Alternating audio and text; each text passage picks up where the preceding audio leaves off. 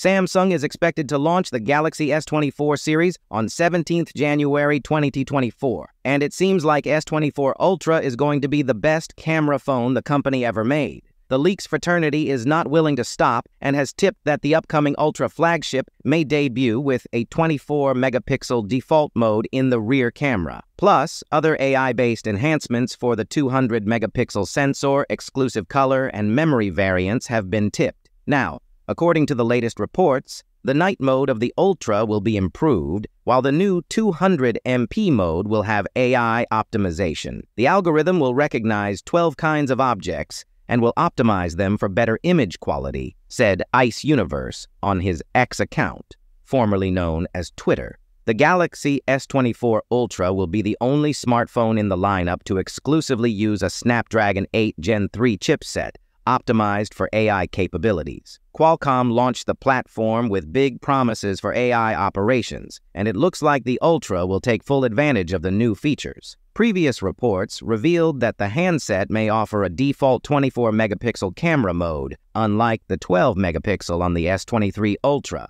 Do note that the current iPhone 15 models also shoot photos in 24 megapixel by default.